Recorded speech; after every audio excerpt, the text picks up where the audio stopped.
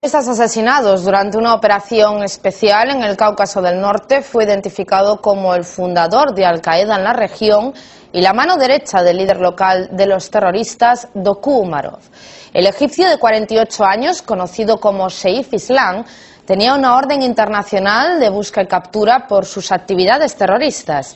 A principios de los 90 participó en acciones armadas en varios países. También preparó varias actividades subversivas por encargo de las autoridades georgianas, según el portavoz del Servicio de Seguridad Federal ruso. El analista político Víctor Misin cree que el éxito de esta operación se debe a la experiencia que tienen las fuerzas de seguridad rusas. Uh, Estados Unidos y algunos países europeos, por ejemplo, solo tropezaron con algunos casos de terrorismo.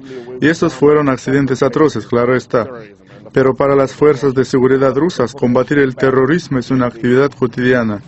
Y creo que lo hacen bien, porque si comparamos la situación hoy con el 1994, cuando la operación antiterrorista empezó en Chechenia, es como el día y la noche. Hay una evidencia clara de cambios positivos ahí.